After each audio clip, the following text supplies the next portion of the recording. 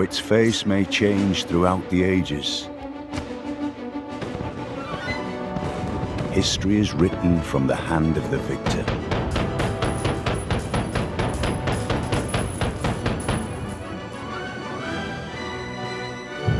By your actions this day, you ensure our people a glorious tomorrow.